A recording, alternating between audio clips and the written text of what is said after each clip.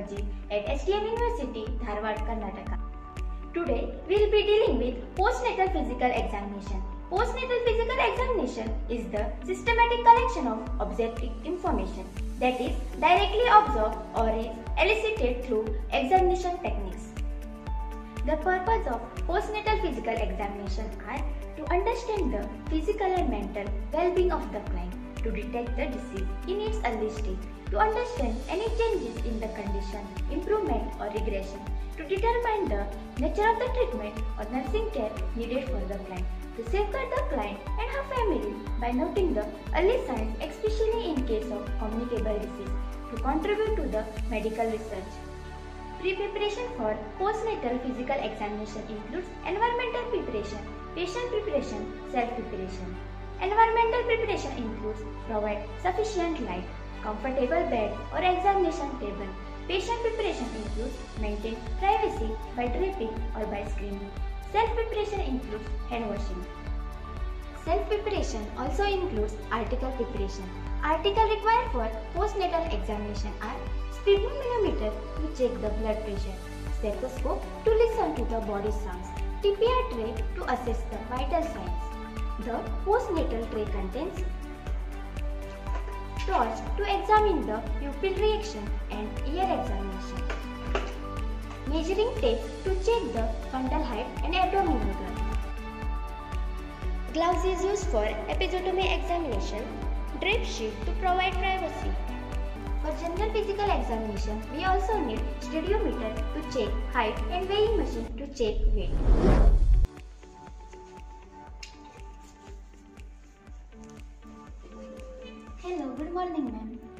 Very good morning, ma'am. I am Sweta Gaude, registered nurse practitioner. Today I will be examining your health status. Will be that okay with you? Yes, ma'am. Thank you. May I know your name? Ma'am, my name is Mrs. Navya Desai. Okay. So let's start with the general appearance. Mrs. Navya Desai is well nourished, moderately built, healthy, and looking tired and worried. Now begin with the postnatal obstetrical examination.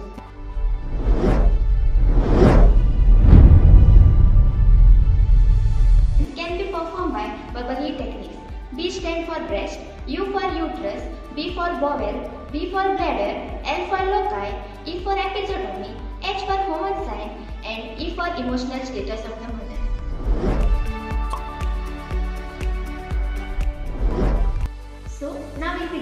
Chest examination. Provide privacy to the patient. Ask permission from the patient for chest examination. So Mrs. Navya, can I? Yes, ma'am. Warm up your hands. Then expose the breast only.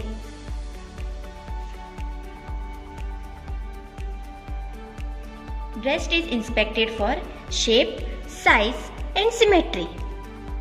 Assess for cracked, erectile, retracted and inverted nipple. Assess for the formation of secondary areola and Montgomery tubercle. Also inspect the breast for dilated veins, redness, blister, bruise or any bleeding. Moving on to palpation, using the tip of the finger in a circular manner, assess the breast for any signs of engorgement, tenderness, mass or lump.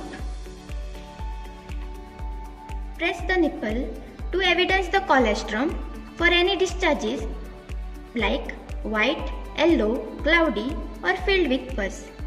By touching the base of the breast, ask the patient for heaviness, pain and also check for the warmth of the breast. So Mrs. Navya, do you feel pain or heaviness in the breast? No, ma'am. After completion of chest examination, cover the patient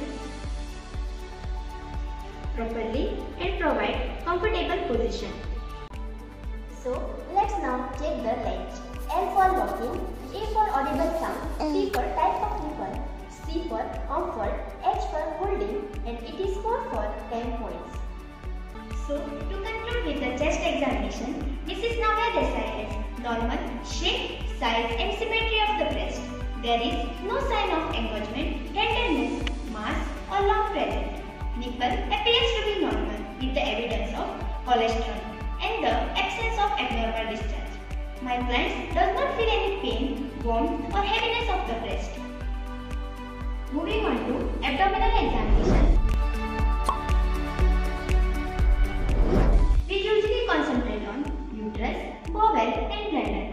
So, before moving, certain prerequisites should be met, such as advising patient to empty her bowel and bladder before examination.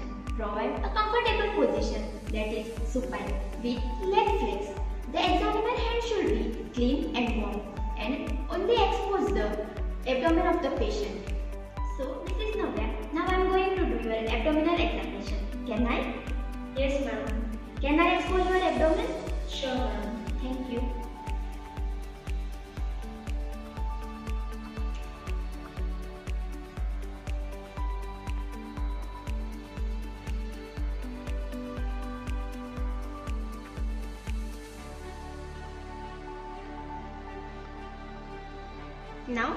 Start with the abdominal inspection.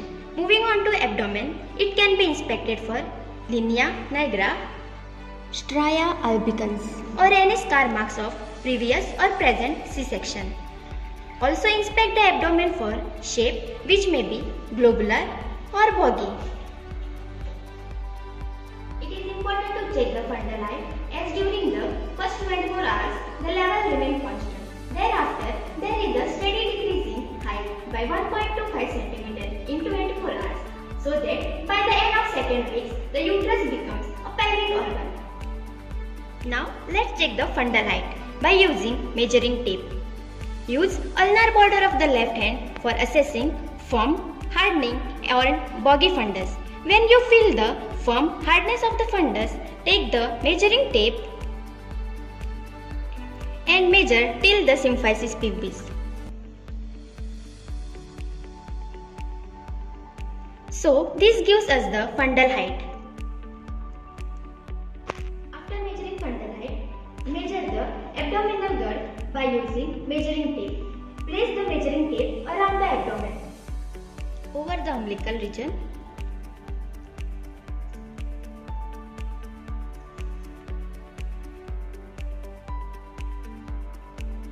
This is how we should check the abdominal girth.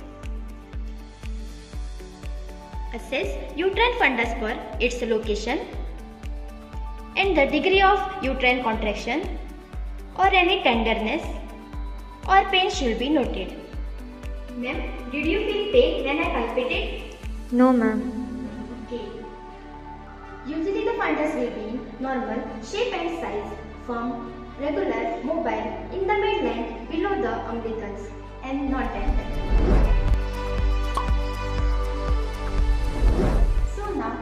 Bladder for any distension, pain, frequency of micturition or any signs of burning micturition.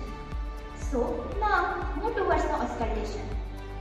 Bowel sound should be auscultated as there may be absence of bowel sounds for 3 to 4 days after delivery.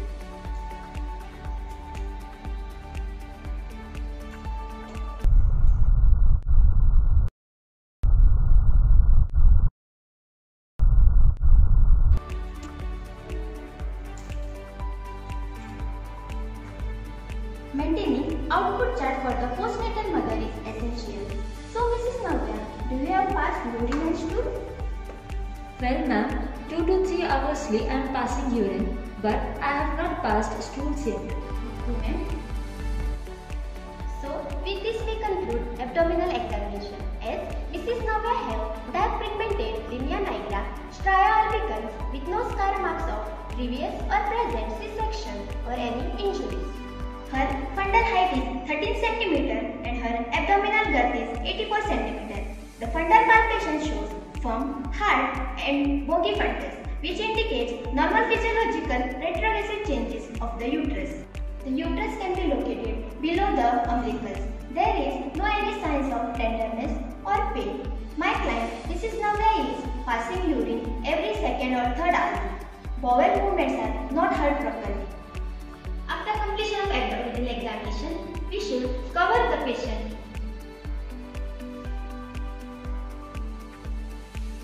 Provide comfortable position. Towards the back, Mrs. Has good body posture. There is no signs of lordosis or kyphosis.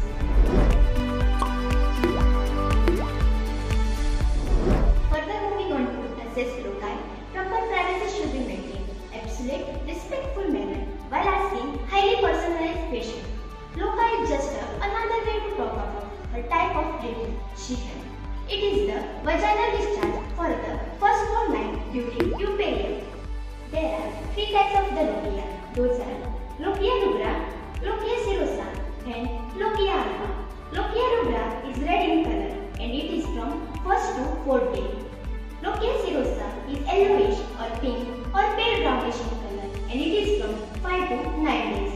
Lochia alba is pale white in color and it starts from 10 days and lasts till 15 days. The order of the discharge is speculary offensive, fishy smell. Also, the average amount of the discharge for the first 5 to 6 days is estimated to be 250 ml. So, Mrs. Navya, can I ask you some of the questions related to your vaginal discharges? Yes, ma'am. Thank you.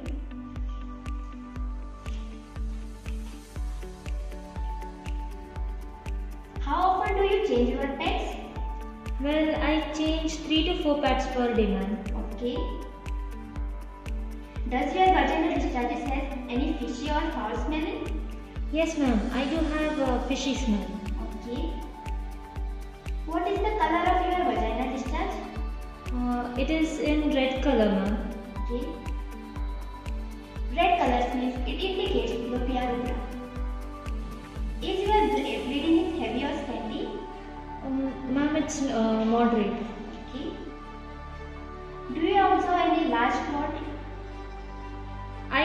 Smaller clots, ma'am, but uh, there is not a sign of uh, bigger clots. Okay.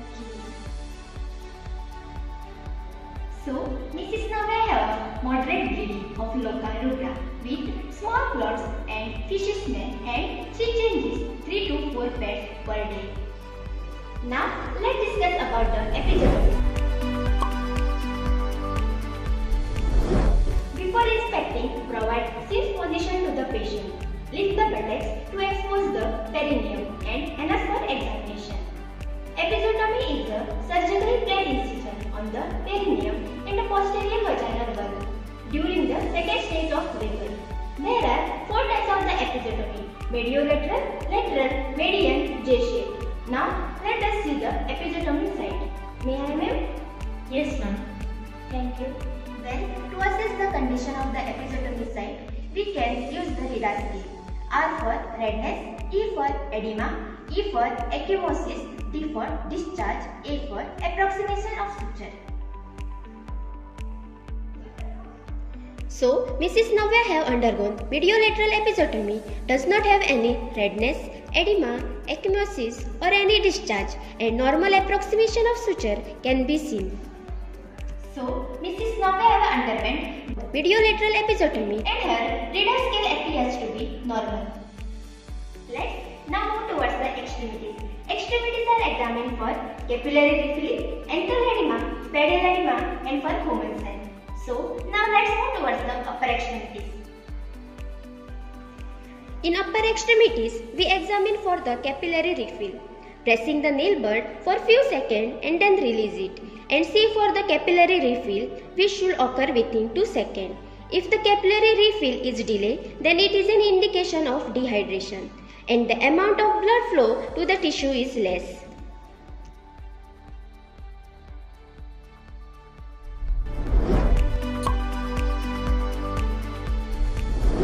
So let us perform the Homan sign.